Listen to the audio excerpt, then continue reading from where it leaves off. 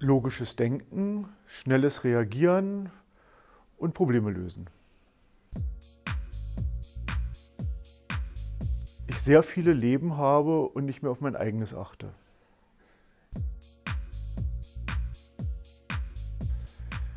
Dass es nur noch um das Spiel an sich geht und das eigentliche Unterrichtsziel verloren geht. Simulationen. Simulationen, die äh, die Realität nachbilden und wo ich die Erfahrungswelt der Schüler durch ein selbst kreiertes Spiel nachbilde.